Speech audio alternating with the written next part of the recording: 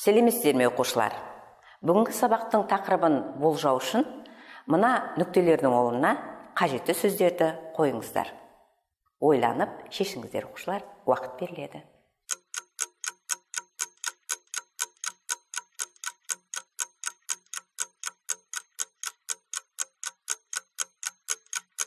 Оқушылар сіздер бұл сөз жұмбақты оңай шештіңіздер деп сенемін дегенмен жауаптарыңызды тексеріңіздер.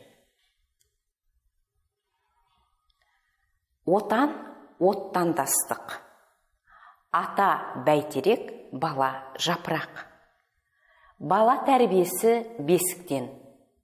Ана жүрегі теңізден терең. Ас адамның арқауы. Төңкерген ыдыс толмайды. Яғни оқушылар отбасы сөзі шықты. Сонымен бүгінгі сабақта біз отбасылық құндылықтар туралы айтамыз. Енді оқушылар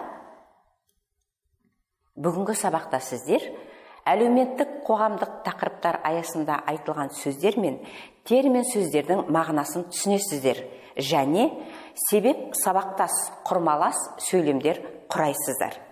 Енді оқушылар бүгінгі сабақта өтетін жаңа сөздермен таныс болыңыздар. Неке адамдардың ерлі зайыпты болып бас қосуы. Ажырасу неке бұзу айырылысу қартаю жасы келу егде тарту. Ұлғай үлкею өсу көбею. Санақ белгілі бір мақсатпен жүргізілетін есеп сан анықтау. Сан есеп мөлшері. Оқушылар жаңа сөздерді естеріңізге сақтап отырыңыздар. Бұл жаңа сөздер алдағы тапсырмаларды орындағанда қажет болады. Енді оқушылар мәтінді мұқият тыңдаңыздар.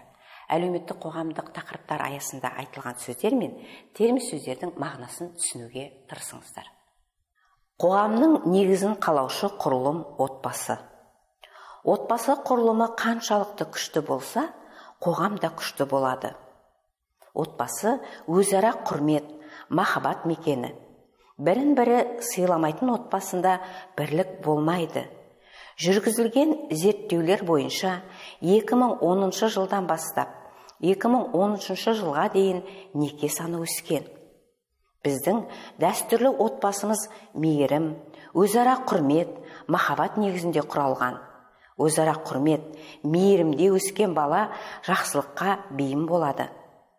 Отбасында әркімнің орны міндеті жолы бәрі орныққан.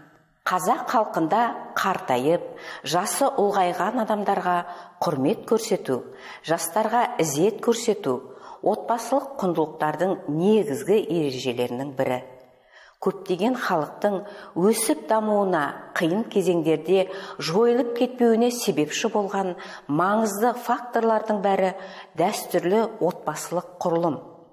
Адамды адам ететін күш отбасынан алған тәрбие отбасынан алған қадір қасиет махаббат отбасы бірлігі. Рухани құндылықтарға ие нағыз жанұяны ешкім тізе бүктіре алмайды. Өмір ағысында алдарынан не шықса да ол жанұя бүкіл қиындыққа төтеп береді. Тіпті шыңдалып одан да күшейіп артынша келетін қуаныштарымен бөліседі. Өмірді мәнді ететін де осы емес пе? Бөлісу. Алайда бұл дәрежеге жету үшін мол сабыр ерен еңбек керек. Еңбексіз ешбір мәселе өнбейді. Оқушылар мәтін сіздер үшін қызықты және пайдалы болды деп сенемін. Олай болса тапсырмаларды орындайық. Мәтіндегі әлеуметтік қоғамдық тақырыптар аясында айтылған сөздер мен термин сөздерді түсіндірмесімен сәйкестендіріңіздер. Орындаңыз оқушылар уақыт беріледі.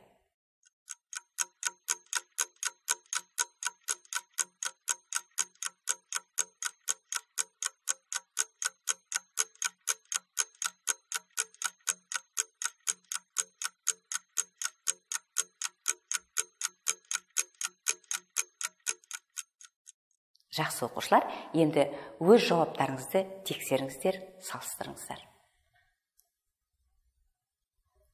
Құрмет көрсету.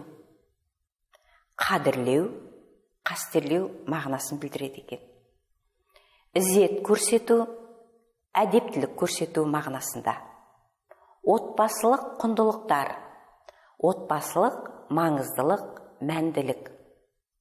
Рухани құндылықтар адамның ой санасына ішкі дүниесіне маңызды деген мағынаны білдіреді.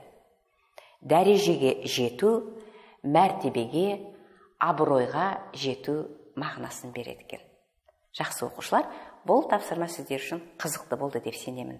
Олай болса келесі тапсырманы орындайық.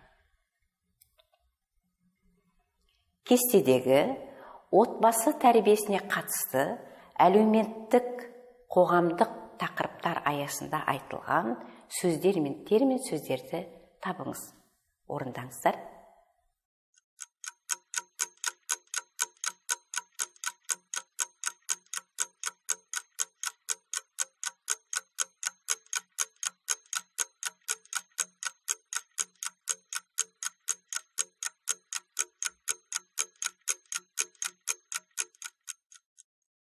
Оқушылар бұл тапсырманы сіздер оңай орындады деп сенемін дегенмен жауаптарыңызды тексеріңіздер бұл жерде құрмет тәрбие махаббат мейірім құндылық ізет жақсылық отбасы бірлігі сөздері жасырынған екен. Оқушылар бұл тапсырманы сіздер оңай орындадыңыздар деп сенемін. Енді себеп бағыныңқы сабақтас құрмалас сөйлемдерді еске түсірейік. Себеп бағыныңқы сабақтас құрмалас сөйлемдерде бағыныңқы сөйлем басыңқы сөйлемдегі іс әрекеттің себебін түсіндіреді. Оның жасалу жолдары. Есімше арқылы ған ен дықтан діктен қосымшаларының жалғануы арқылы жасалады. Тағы бір жолы ғанген жұрнақты сөзге соң шылауы тіркеседі. Түбір етістікке ып іт п жұрнағы арқылы жасалады. Және а е и жұрнағы болымсыз естікке жалғануы арқылы жасалады екен. Мысалы отбасында өзара сыйластық болғандықтан бұл жанұяда бақыт пен тұрақтылық бар. Жақсы оқушылар осы білімімізді бекіту үшін келесі тапсырманы орындаймыз. Берілген сөйлемдер арасынан себеп бағыныңқы сабақтас құрмалас сөйлемдерді тауып жасалу жолын көрсетіңіз. Орындаңыздар уақыт беріледі.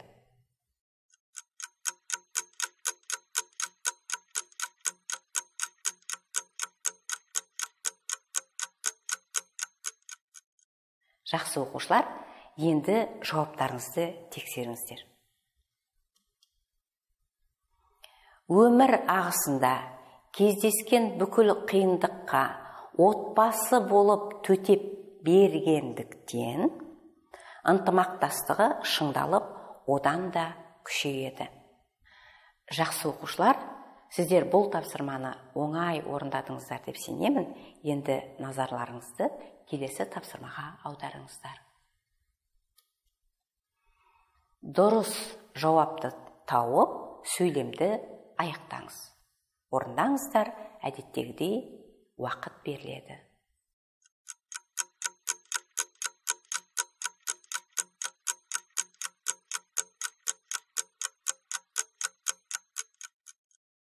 Оқушылар бұл тапсырма сіздер үшін оңай болды деп сенемін дегенмен жауаптарыңызды салыстырып тексеріңіздер.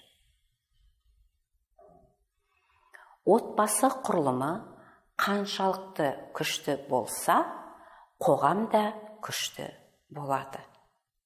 Екінші сөйлем. Өзара құрмет мейірімде өскен бала жақсылыққа бейім болады. Соңғы үшінші сөйлем.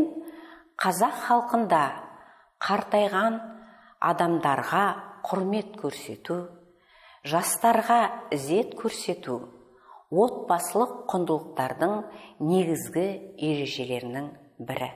Оқушылар бұл тапсырма сіздер үшін оңай болды деп сенемін. Енді келесі тапсырманы орындаймыз. Әлеуметтік қоғамдық тақырыптар аясында айтылған сөздер мен термин сөздерді пайдаланып отбасының беріктігіне себеп болатын негізгі құндылықтарды диаграммаға түсіріңіздер. Орындаңыздар уақыт беріледі.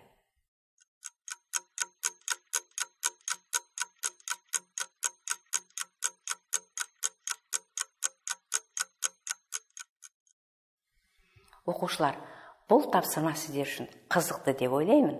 Олай болса жауаптарыңызды тексеріңіздер. Отбасы беріктігі мейірім өзара құрмет кішіге ізет көрсету үлкенге құрмет көрсету махаббат тәлім тәрбиенің болуы қиындыққа бірлесіп төтеп беру қуанышпен бөлісу. Міне осы ережелердің барлығы орындалатын отбасында беріктік болатыны сөзсіз. Енді оқушылар келесі тапсырманы орындайық. Тест сұрақтарына жауап беріңіздер. Орындаңыздар әдеттегідей уақыт беріледі.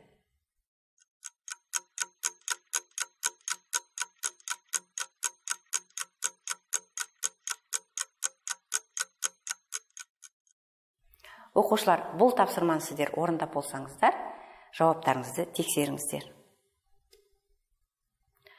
Бірінші сұрақ. Қоғамның негізін қалаушы құрылымды белгілеңіз. Оның дұрыс жауабы ә нұсқасы отбасы. Келесі сұрақ. Өзара құрмет мейірімде өскен бала неге бейім болады? Әрине оның дұрыс жауап нұсқасы б. Жақсылыққа бейім болады. Үшінші сұрақ. Қазақ халқында үлкен адамдарға не көрсетеді? Дұрыс жауаптың нұсқасы. Ә? Құрмет. Келесі сұрақ. Қандай жанұя бүкіл қиындыққа төтеп береді? Дұрыс жауаптың нұсқасы а. Ауызбіршілігі бар жанұя. Соңғы сұрақ. Рухани құндылықтарға ие нағыз отбасы болу үшін не қажет? Дұрыс жауаптың нұсқасы б. Сабырлық пен ерен еңбек қажет. Жақсы бұл тапсырма сіздер үшін пайдалы болды деп сенемін оқушылар.